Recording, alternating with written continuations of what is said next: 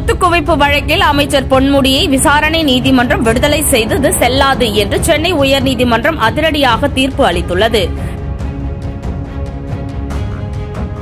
கடந்த ஆயிரத்தி தொள்ளாயிரத்தி தொண்ணூத்தி ஆறாம் ஆண்டு முதல் இரண்டாயிரத்தி ஓராம் ஆண்டு வரை திமுக ஆட்சி காலத்தில் போக்குவரத்து துறை அமைச்சராக இருந்தபோது வருமானத்திற்கு அதிகமாக ஒரு கோடியே முப்பத்தி ஆறு லட்சத்திற்கு சொத்து சேர்த்ததாக அமைச்சர் பொன்முடி அவரது மனைவி விசாலாட்சி மீது லஞ்ச ஒழிப்புத்துறை இரண்டாயிரத்தி இருபத்தி இரண்டில் வழக்கு பதிவு செய்தது. விழுப்புரம் மாவட்ட முதன்மை அமர்வு நீதிமன்றத்தில் விசாரணையில் இருந்த இந்த வழக்கு வேலூர் முதன்மை மாவட்ட அமர்வு நீதிமன்றத்திற்கு மாற்றப்பட்டது. வழக்கை விசாரித்த வேலூர் நீதிமன்றம் குற்றச்சாட்டுகள் நிரூபிக்கப்படவில்லை எனவும் போதிய ஆதாரங்கள் இல்லை எனவும் கூறி பொன்முடியையும் அவரது மனைவியையும் விடுதலை செய்து தீர்ப்பு அளித்துள்ளது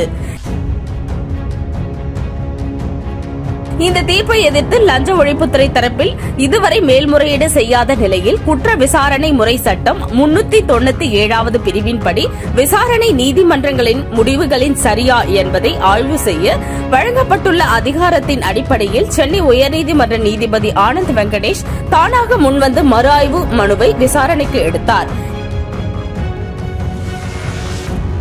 இந்த வழக்கு மீண்டும் விசாரணைக்கு வந்த பிறகு பல்வேறு கட்ட விசாரணை நடைபெற்றது. அனைத்து கட்ட வாதங்களும் நிறைவடைந்த நிலையில் சென்னை உயர்நீதிமன்றம் இன்று தீர்ப்பு வெளியிட்டுள்ளது. வருமானத்திற்கு அதிகமாக ரூபாய் ஒரு கோடியே எழுபத்தி ஐந்து லட்சம் ரூபாய் சொத்து சேர்த்து வழக்கில் அமைச்சர் பொன்முடி அவரது மனைவியை விடுதலை செய்த சிறப்பு நீதிமன்ற தீர்ப்பு ரத்து செய்வதாக நீதிபதி ஜெயச்சந்திரன் தீர்ப்பு அளித்துள்ளார். சொத்து குவிப்பு வழக்கில் அமைச்சர் பொன்முடியை விசாரணை நீதிமன்றம் விடுதலை செய்தது செல்லாது என கூறிய அவர் அமைச்சர் பொன்முடி வருமானத்திற்கு அதிகமாக அறுபத்தி நான்கு புள்ளி தொண்ணூறு சதவீதம் சொத்து சேர்த்தது நிரூபணமாகியுள்ளதாக தெரிவித்தார்.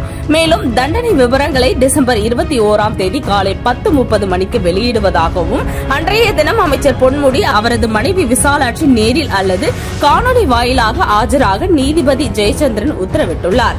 இதன் மூலம் அமைச்சர் பொன்முடி சிறை செல்வது உறுதியாகியுள்ளது. ஏற்கனவே அமைச்சர் செந்தில் பாலாஜி மோசடி வழக்கில் சிறையில் இருந்து வரும் நிலையில் மற்றொரு திமுக அமைச்சர் சிறைக்கு செல்வது முதலமைச்சர் ஸ்டாலினுக்கு பெரும் நெருக்கடியை ஏற்படுத்தியுள்ளது.